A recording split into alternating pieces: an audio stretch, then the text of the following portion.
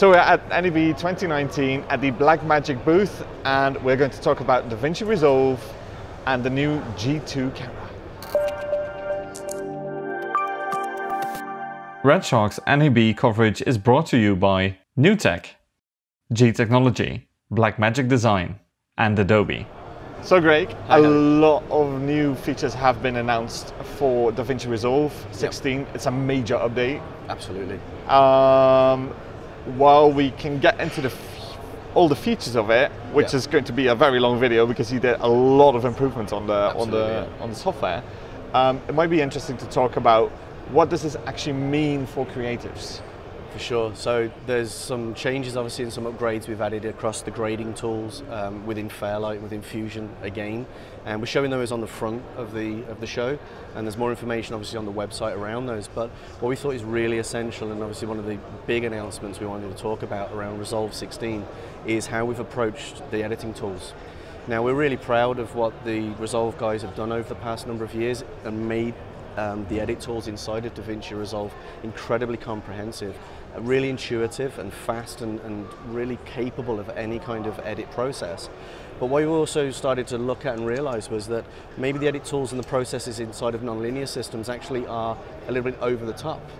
You know, can, they, they are comprehensive and you know they're very creative and they, they allow you to be and create whatever you want. But sometimes maybe stripping those back and looking really about the efficiencies and the work that we can do adds a lot more to the software. And that's what we've announced with Resolve 16. We've introduced the cut page. And what the cut page allows us to do is, is produce two different ways and different ways of kind of thinking about the edit and how we approach nonlinear systems itself. So I can show you in the software and show you, so the edit page, as I say, really, we haven't changed it, we haven't stripped anything back. You can still use the edit page.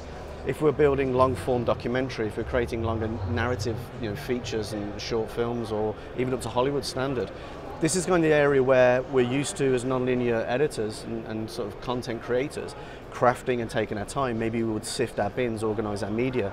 If we've got long shooting ratios, generally how well you organize your media here might take hours and hours, but it pays as you start to build and craft. Yeah, especially in long form stuff, you kind of want to yeah. make sure that everything is in the right bin and that everything is like exactly yeah. And Resolve's got some great tools in there like smart bins and some of the media management tools but they're not necessarily always needed. So if you go into the cut page, what we've actually done is we've, we've looked at the efficiency of the edit system and the processes and thought about how editors work differently. And the project might demand that.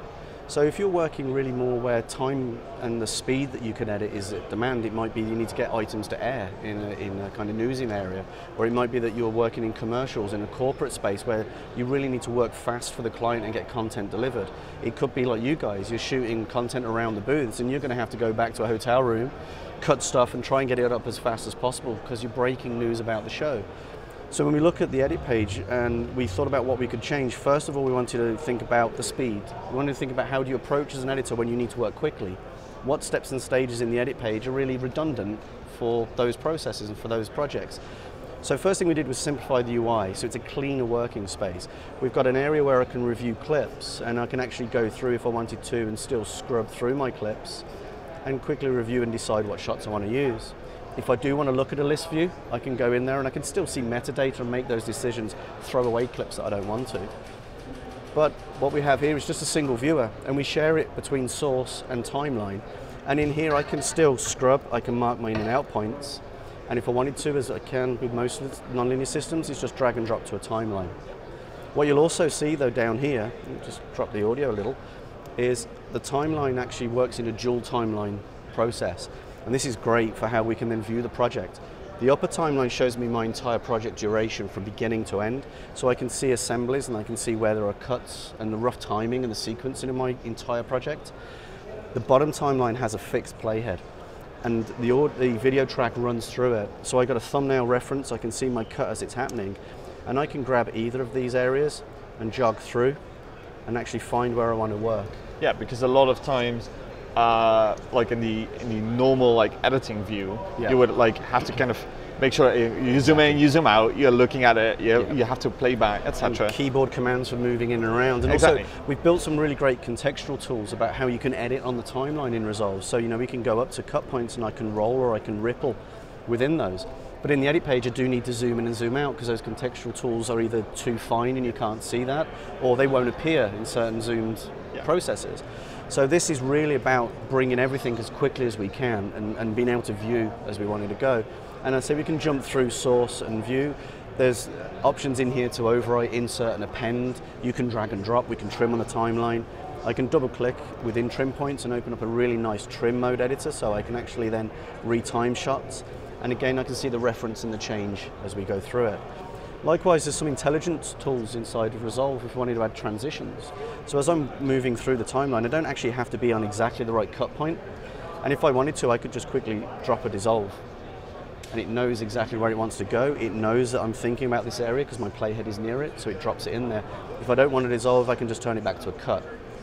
If I want to change the dissolve, I can open it, trim it quickly, play through and carry on. So I'm not going into a transitions bin, I'm not having to drop shortcuts, I can just add quickly and move through it. Yeah, which is great for refinement work, but yeah. then in a lot of the times, if you have like uh, fast turnover projects, yeah. you kind of, you know, you want to do like yeah. dissolve just very quickly. Just keep it moving. Just keep it moving, yeah. Exactly. There's also, I mean, one transition that's here as well, a third option is like a soft cut.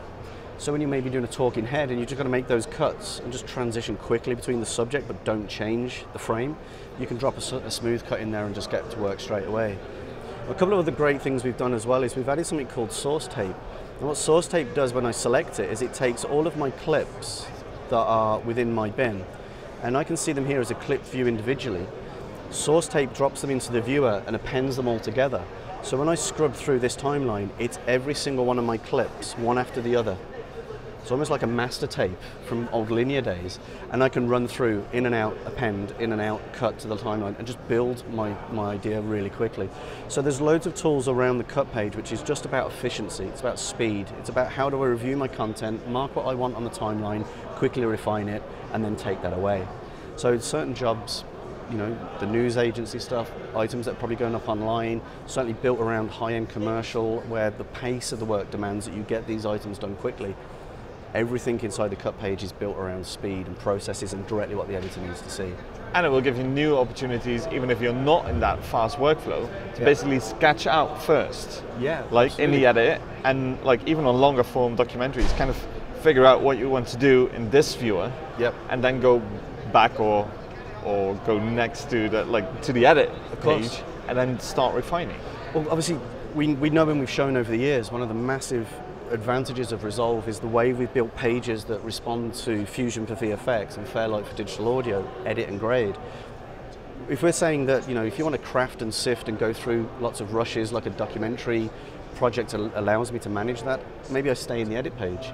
If I wanted to cut some content quickly and then place it up on my YouTube channel or I'm cutting quickly for a client, I could do the cut page. But a third way of thinking about it is, say we're going to work on a, on a feature or working on some sort of narrative driven project. I could build my narrative structure in the cut page. I could look at a scene or a sequence, take my shots. Maybe it's like a talking heads and there's a couple of multicams to cover it. I can use the source tape to quickly cut that as a multicam, build a narrative block, and then go back to the edit page and fine tune it, put in cutaways, change the transitions, alter my dialogue, mix some of the audio then in Fairlight. And it's almost the cut page can become the first stage in a full craft of processing. So it's ideal and built around fast processing. We've got some awesome export tools that allow you to go straight from the cut page, say to YouTube. But likewise, it's still part of the ecosystem of Resolve and is one of the first steps in the stages in post-production that you can use and utilize as an editor. Yeah, and what we didn't discuss about was, was also, it's basically very obvious in a way, but like you can have different roles in your crew. Yeah. Go through the different almost like the different tabs on the in, in like yeah. Resolve in just the one program. Yeah, I mean the power that we have in Resolve as well, and it's it's, G, it's, leverage of GPU performance for obviously some of the effects we put in there, but also the re rework we did on the engine, the CPU performance in 15 is true in 16. You can resol run Resolve 16 on a laptop. You could be working on set. You could pull your dailies and you could start crafting an edit together and make sense of what you've shot in the day. You know, you could start to look at pickups or reshoots or then pass that away as an assistant onto somebody that's back in the post-production facility to craft it and finish it. Which is getting more important anyways because now you see that post is slowly and post and production kind of merge into one yeah. in a lot of different production, not only in the high end, but also like Yeah, and it's next to say the DIT tools and the on-set tools we have on the color side, where we've got Resolve Live, we've got obviously the ability of LUT creation, LUT management, and color management on there. It's, we're introducing ways that you know potentially you could start to even think about how you build, edit, and create on set or after you've shot. Um, in that way as well, and certainly for guys that want to craft longer form, it's a nice process step. Um, but always going back, ultimately it's about that speed, it's about the efficiency and getting what you can get cut on the timeline as fast as possible. So, Great. So now let's quickly move on to what you've done to uh, the Mini Pro Yep. G2. yep. So we announced the camera um, a few weeks back. Um, the is coming out into production, so there's be with people shortly that have pre-ordered them. Um, and effectively what we've done is the Ursa Mini Pro 4.6K was an incredibly successful camera for us and introduced a lot of people to the performance of our, our processes, our color science, and really what you can achieve with a camera that's so affordable. But we looked at the, the, the way we could develop the camera system, and ultimately it's the same camera body. So if you've got, you know, you're familiar with the interface, the use, Blackmagic OS for the, the menus and the control of the camera, it's all the same. The viewfinders, batteries, all the accessories are all built around this ecosystem now. But we fundamentally changed um, the video processing and the sensor system. So it's the same sensor design, same pixel pitch resolution, same dynamic range, but it's all about getting higher quality off that sensor. So it's better color reproduction and color uniformity. Um, it's actually a faster sensor, so it's less than 8 milliseconds in response at full 4.6K. So that means any motion in the frame is better rendered. We, we're working towards, obviously with CMOS sensors, you want to avoid skew entirely if you can. So it's an incredibly quick sensor. But what we've also been able to do with those incremental improvements in it is introduce slow-mo. So we've got higher frame rate capability. So at 4.6K we can shoot 120 frames. If you move into 4K Ultra HD you can do 150. And if you shoot at uh, 1080 you can take that up to 300 frames a second. And we know creatively that's great. A lot of people want to shoot with slow motion, creatively use it in, you know, you see a lot of in sports, in music, uh, certainly in film, where you can create really fantastic sequences by just concentrating the viewer into slow motion, revealing action, um, and it's a brilliant tool to add to the camera that already had a ton of features in there.